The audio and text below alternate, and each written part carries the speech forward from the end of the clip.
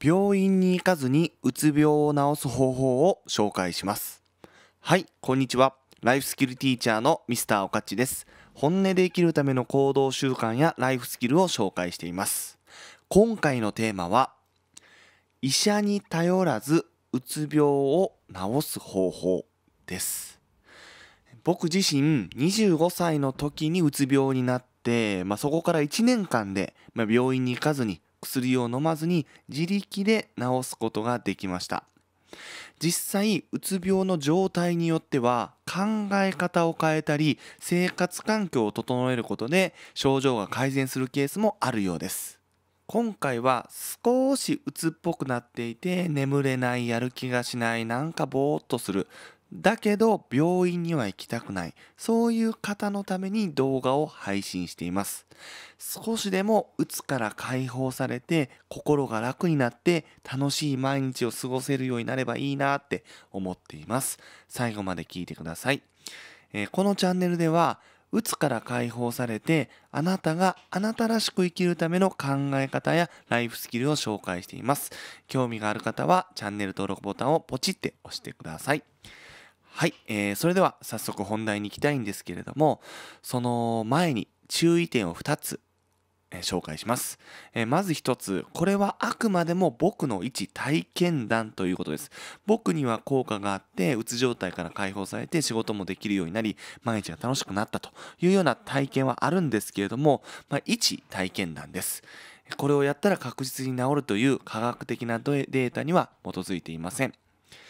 2つ目えー、基本的にはうつ病かなって疑いを持てば休む睡眠をとる。そして病院に行って専門医に相談する。この3つがおすすめです、えー、僕自身も当時はうつ病の薬を販売する、まあ、MR 情報提供者として仕事をしていたんですけどもそこでもずっとこの3つは言ってました。休む睡眠をとる専門医に相談する。何かおかしいなと思ったら、えー、かかりつけの先生でもいいし、まあ、メンタルクリニックでもいいのでちょっと専門の方に相談する。これが非常に大事だよという話をさせていただいてました、えー、なぜかというと自分自身でうつ病のどの状態かっていうのを客観的に把握するのが難しいんですね。今これうつ病の重症なのかそれとも軽症なのかでうつ病になる前のうつ状態なのかってこう分かるのが難しいので病院にに行って適切な処置をしてもらうこれが第一選択ですつまりこの動画っていうのは病院に行かなくてもいいと言ってるわけではないということをご理解いただければ嬉しいですはい。ということで、早速本題に入りたいんですけども、えー、この動画では、まあ、なぜ僕がうつ病になったのかということをお話しして、それをどのように治していったのかっていうのを7つのステップで紹介していきたいと思います。はい、えー、まずなぜうつ病になったのかっていうことなんですけどこれは他の動画でもたくさん書いてる書いてるし言ってるので、えー、ここではもう簡単に言います。えー、まあそなんでかっていうとねまあ何のために生きているのか何のために働いているのかが分からなくなったからです何のためにこの仕事をやるのか分からないにもかかわらず毎日あれをやりなさいこれをやりなさいっていういろんなノルマやキャンペーンをやらないといけない。でもこれをやった先に何があるのかわからない。いわゆるそのラットレースのように進んでも進んでも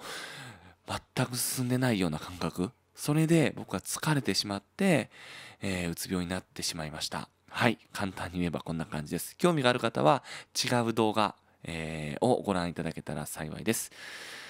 はい。で、うつ病、なぜうつ病なのかが分かったのかというと、まあ、僕自身、あのうつ病の薬を販売する、えー、情報提供提供者として、えー、非専門の先生方とかあいわゆる内科の先生方にこうやってうつ病を診断するんですよと。こういう患者さんいませんかっていうような情報提供を僕自身がやっていたんですね。やっていたからそのうつ病のね診断シートっていうのがあるんですけどそれにねもう完全に当てはまってたんですよ。もうだから僕は病院にも行かずに自分がうつ病をやって分かったんですね。ちなみにこちらがうつ病の診断シートです。はい。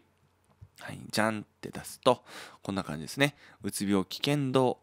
チェックリストということでこの A と B があってこの A のどちらか1番と2番のどちらかが当てはまるもしくは両方が当てはまる場合そして A と B を合わせて5項目以上当てはまる場合これはうつ状態の危険があるというふうに言われてます。でその状態が2週間以上続いていたり強い苦痛を感じる。そして生活習慣であったりその何やろ社会生活に影響がある。仕事ができない家事が思うようにできないっていう状態が、まあ、2週間以上続いていたらうつ状態であるというふうに、えー、米国精神医学会では診断されていますと。いうことなんです。まあ、簡単に言うとこの A の1と2がどちらかが当てはまり、それ A、B の項目もが 5, 個5項目以上ですね。A と B を合わせて5項目以上当てはまるのが2週間続いてるかどうかです。まあ、僕の例で言えば、まあ、1番、毎日一日中気分が沈んでいる。まあ、ずっと沈んでましたね。で、何に対しても楽しめなくて興味が湧かない。まあ、昔ダンスが楽しかったんですけども、ダンスも楽しめなくなった。3、食欲がない。あ、これはそうですね。朝ごはんも特に食べたいと思わなかったし、4、寝つけない。寝られませんでした。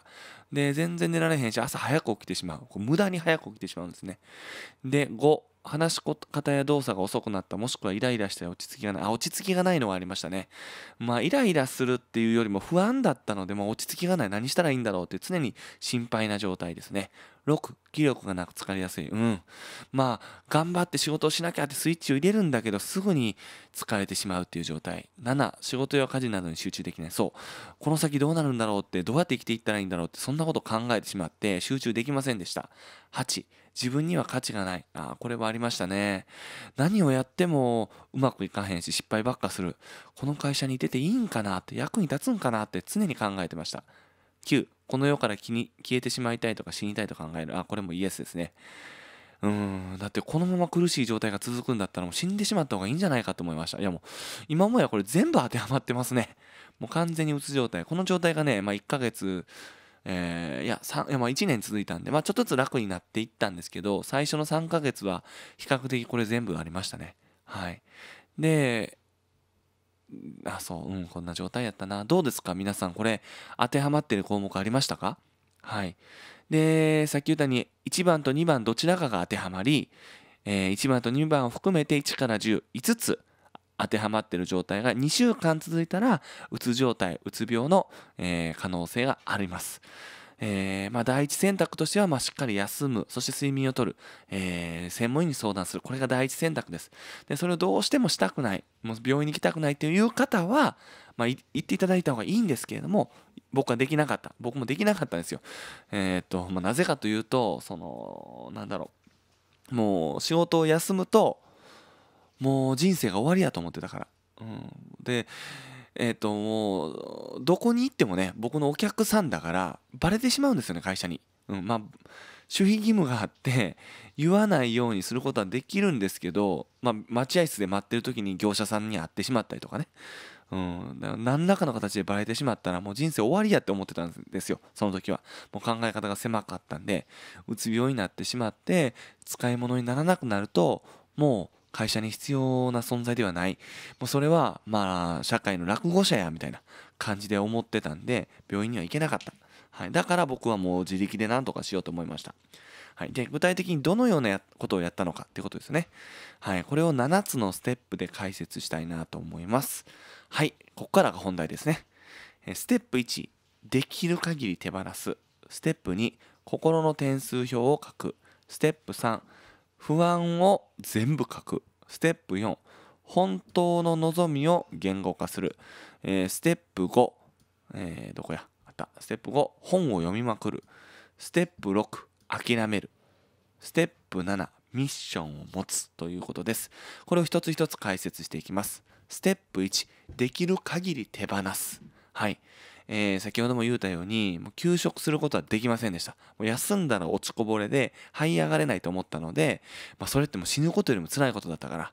だからなんとか、えー、仕事には行きました。でも仕事ができる状態ではなかったので、まあ、ここだけのお話サボっていました。職場には行くんですけど、まあ、職場で最低限の資料とかをあのカバンに入れて、えー、まあ、職場を出るんですよ。出て、ま、得意先には行かずにその途中にある道の駅に車を止めて山を見てぼーっとしていました。でも最低限やらないといけないことがあるので、えー、それだけは、えー、やっていました。っていう感じですね。で、やってもやらなくてもどっちでもいいっていうのは基本的にやらない。で仕事以外でも、まあ、ダンスのイベントをする活動をしてたんですけども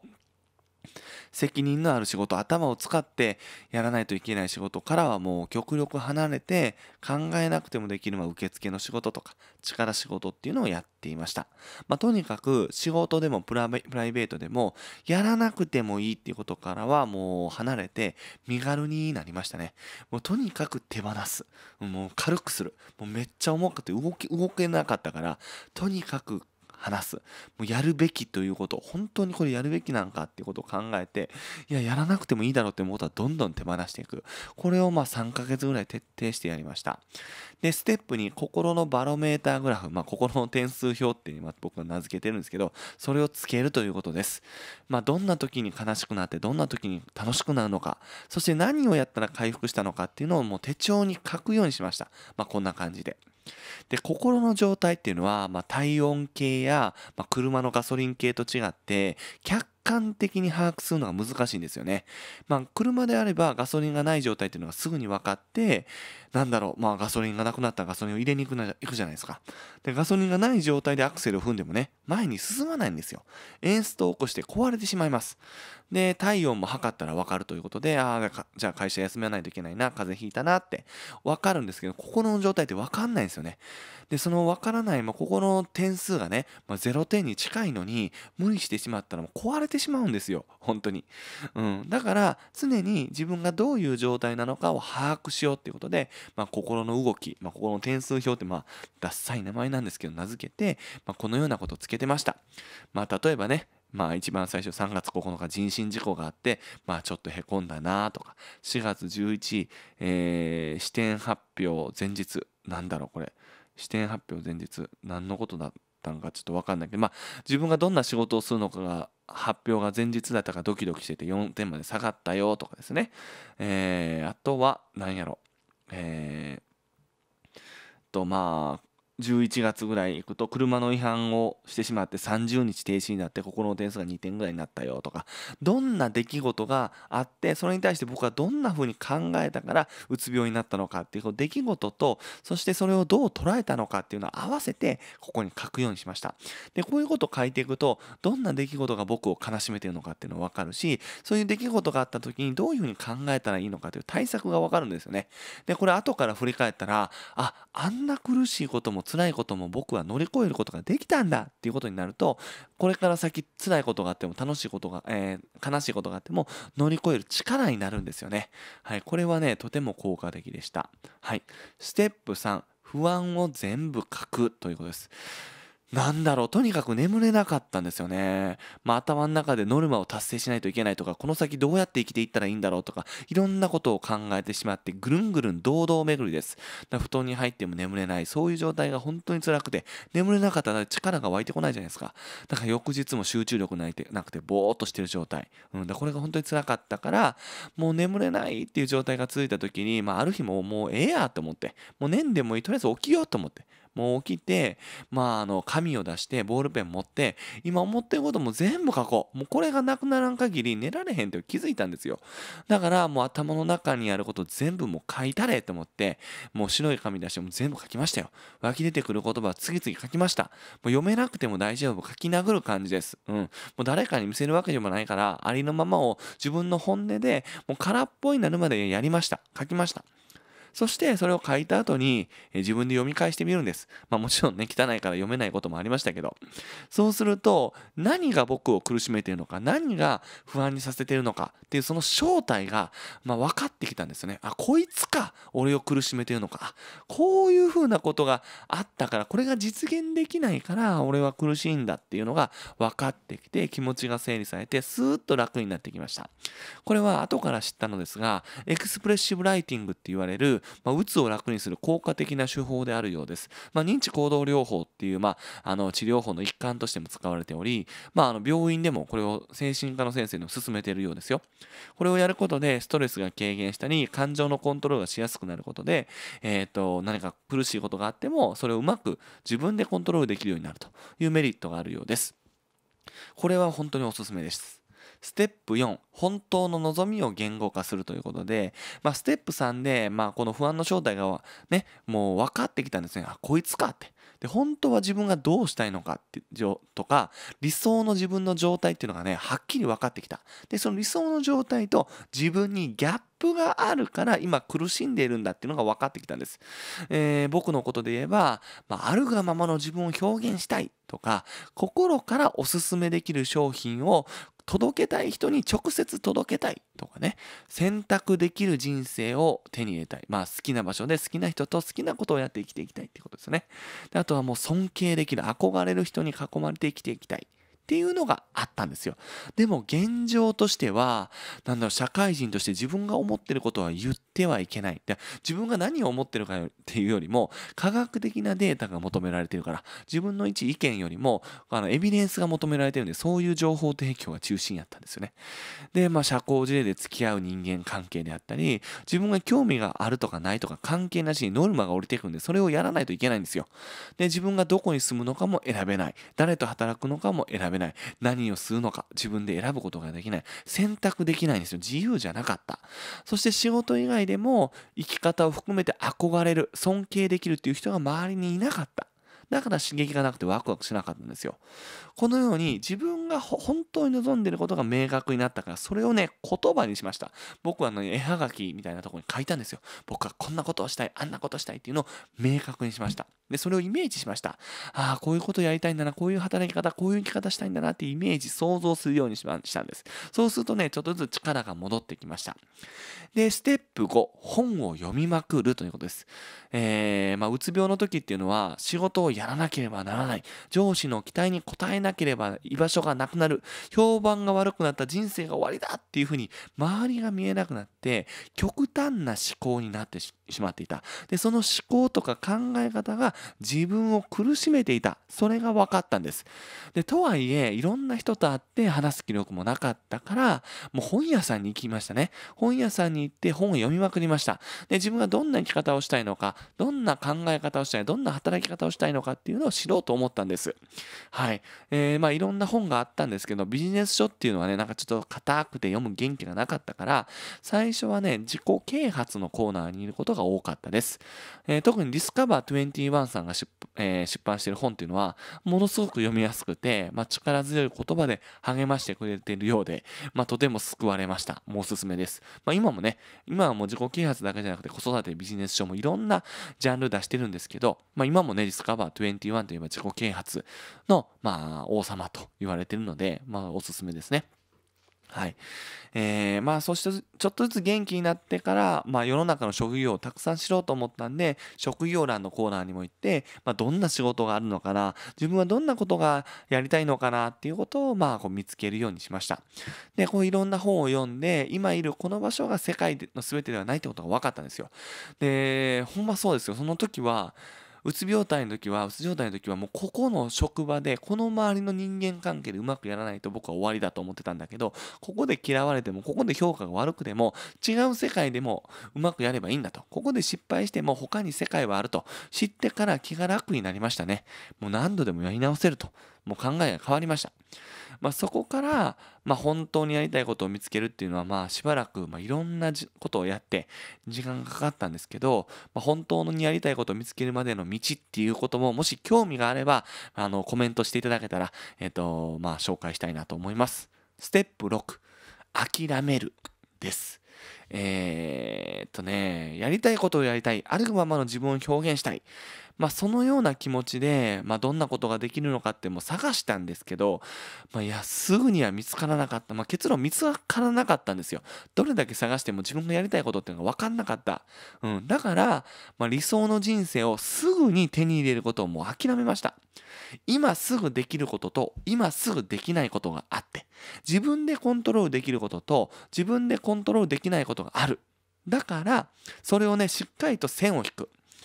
お金を1000万円すぐに手に入れることはできへんし、今すぐ会社を辞めることはできない。そして上司の評価をすぐに変えることはできへんし、今すぐやりたいことを見つけることはできない。このように自分ができないこととか自分でコントロールできないことっていうのは諦める。だって考えても仕方ないもん。答え見つからへん。で、答え見つからへんかったら何をやるかの行動が見えてこない。行動しなかったら世界は変わってこない。だから、そうやって、えー、と見えないものとかあーなんだろうね。自分がコントロールできないことっていうのはもう諦めて、えーやったんですよ。だから決断するのを5年延ばしました。具体的には。30歳の時までにやりたいことを見つけてその時にすぐに動けるようにしたんです。ようにしようって思ったんです。今見つけなくてもいい。30の時までに見つける。でその時にすぐに動けるように準備をする。そういう5年間を過ごそうとしたんです。そのために社会人としていろんな能力を身につけることも大事だし会社で実績を積んでそれで転職するんやったらその実績をがないと転職しにくいんで。あとはやりたいことを見つけた時にすぐに動けるようにお金を貯めるということ。この、えー能力を高める実績を作るお金を貯める。この3つを5年間やろうっていうように覚悟が決まったんですよ。見えないものを見ようとしても見えないまま。今見えることを一つずつやっていこう。そう考えました。そうなるともやが晴れてすっきりしました。だって今何をやるべきかが見えたからです。でそう考えていくと今まで楽しくなかった仕事が楽しくなってきたしこれをやった先になんか楽しい未来があると思えたから仕事も楽しくなってきました。でステップ7これものすごく大事なんですけどまあミッションを持つということです。はい。まあ、何のためにこの仕事をやるのか。何のためにこの業務をやるのか。これがミッションですね。ただ闇雲に与えられたことをこなすのではなくてこれをやった先に一体何があるのか。自分にとって社会にとってどんないいことがあるのかそれを想像して取り組むようにしました、えー当時はうつ病の薬を販売した営業マンだったんです。でまあノルマを達成するためこれをやらないと怒られるからそれが理由で、えー仕事をしていた。でもそれってね全然楽しくないんですよね。だからミッションを持つようにしたんです。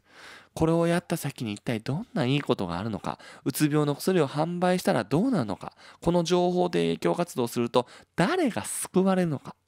そう考えると早い段階で、えーかかりつけのドクターのところでうつ病が見つかって適切に治療されたらうつ病が重症化されることなく悩まされることなく喜びにあふれた毎日を過ごせる。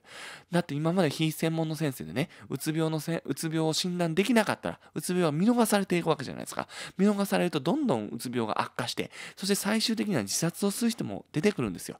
だからまずはうつ病の人っていうのは専門医じゃなくてかかりつけの内科さんに行くんですよ。その内科さんで適切に診断されてうつ病が見逃されへんくて早く治療されたらうつ病が早く治って自殺することなく人生を楽しめるんじゃないかと。そういうミッションを考えるようになりました。仕事ができなかった人が働けるようになったりお孫さんとの時間を楽しめなかった人が一緒にお孫さんと公園がで散歩ができるようになるとねだからこ言われたことをやるとかいうことではなくてこの仕事をやった先に何があるのかって想像して働くようにしました。そういうふうに考えるとやらなければならないことがやりたいことに変わったんですよ。have to が want に変わったんですよ。そうしたらストレスがなくなって眠れるようになって毎日の仕事が楽しくなった。苦痛じゃなくなった。ったんですだからミッションを持つことは大切です今これをやった先にどんないいことがあるのかそのように問うてみましょうこれはあくまでも仕事じゃなくて、えっと、家事もそうやし、子育てもそうやし、人生もそうです。人生にミッションを持つと、子育てにミッションを持つと、仕事にミッションを持つと、本当に人生が変わります。今、それをやった先に、どんないいことがあるのか、このように問うてみましょう。そうすればミッションが見えてくると思います。はい。えー、それでは振り返りです。ステップ1、できる限り手放す。自分でもなくてもいいことはどんどん手放していきましょう。ステップ2、心の点数表を書く。どんな時に悲しい、どんな時に鬱っぽくなるのかっていうのをグラフ化しましょう。ステップ3、不安を全部書く。思ってること、心配、恐れ、全部真っ白い紙に書きましょう。ステップ4、本当の望みを言語化する。自分が本当に望んでいることは何のか、一言で10文字以内でパッて表現できるようにキュッと言語化しましょう。ステップ5、本を読みまくる。その本当の望みを叶えるためにはどうしたらいいのか。それを、えっ、と、いろんな本を読んで学習して見つけましょう。ステップ6、諦める。自分にはできることとできないことがある。だから自分にはできないことをフォーカスするんじゃなくて、自分が今すぐできること、自分がコントロールできることにフォーカスして少しずつ動いていきましょう。ステップ7、ミッションを持つ。これをやった先に一体何があるのか。どんないいことがあるのか。というふうに、えー想像して働き、仕事をする。そうすれば、やらなければならないことがやりたいことに変わっていきますはいこのステップ7の中で何かできそうなことがあれば、えー、試していただけたら幸いです。えー、ただね、今、うつ病で、え、病院で治療中の方は、ドクターと相談しながらやっていただけたらいいです。悪化することもあると思うので、えそこら辺はドクターと相談の上、試していただけたら幸いです。あと、少しでもなんか気が向けば、病院に行くこともお勧めします。えうつ病っていうのは、心の甘えとか、あなたが弱いからっていうのではなく、くもうインフルエンザとかと同じで病気なんです脳の病気があって脳の神経伝達物質のバランスがおかしくなってるから発症するんです。辛くなっている。だからその脳の状態って自分の気合とか根性で治すとなかなか難しい。だからこそ専門医に早めに相談するっていうのをお勧めします、えー、今回の動画少しでもためになった病気、えー、元気になった、お勝ち頑張れっていう方は、えー、いいねボタン、高評価ボタンを押していただけたら嬉しいです。このチャンネルでは今回のように、うつ病から解放されて、あなたがあなたらしく過ごすための考え方や生き方を紹介しています。えー、興味がある方は、最新動画を見逃さないように、チャンネル登録ボタンをポチって押してくれたら嬉しいです。あと、えー、ブログやラジオで本音で生きるための技術っていうのを具体的に日常生活でどうしたらいいのかっていう行動習慣に落として紹介しています。そちらも合わせてご覧ください。はい、え、じ、えん。それでは、ワンダフルな一日をお過ごしください。さよなら。